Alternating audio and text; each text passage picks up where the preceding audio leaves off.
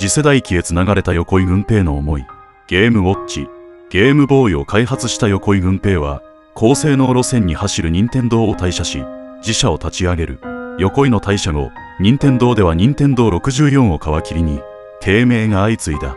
そんな中任天堂は岩田悟の社長就任により、横井の枯れた技術の水平思考への路線に再シフト。結果、任天堂 DS、Wii、任天堂スイッチでは他社の高性能機器を圧倒。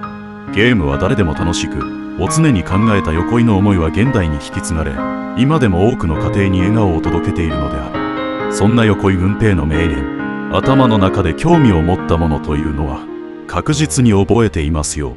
メモを取るということは、書かなければ忘れてしまう。大したアイディアではないということですよ。